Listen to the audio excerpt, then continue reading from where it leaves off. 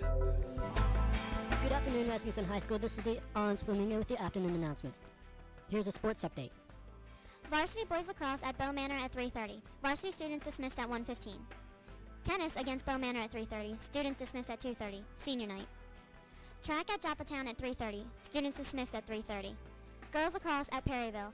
JV at 5:30. Varsity at 7. Bus leaves at 4:30. Here are the ads. Attention all RSHS students. Bring in canned meat to help people in poverty in Jamaica. There are boxes in most classrooms, the lobby, and cafeteria. This drive ends May 13th, so get your cans in. If you're, NA- if you're in NHS, three cans equals a half an hour. Every can helps. Here are your teachers. Attention brass players and concert band. There will be a sectional practice from Friday on Friday, May 1st in the band room for, from 2.30 to 4 o'clock. Attendance is mandatory. If you cannot make it, please see Mr. Metzger or Hannah Rodenbaugh. That's it for the afternoon announcements. Have a great day.